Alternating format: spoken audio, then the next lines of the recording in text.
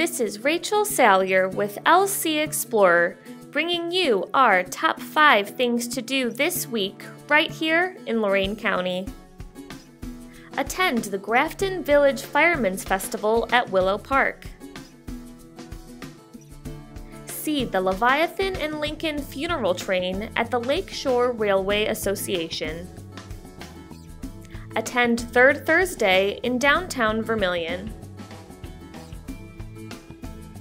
Attend the Avon Lake Chalk Fest at the Ellen Trivanovich Aquatic Center.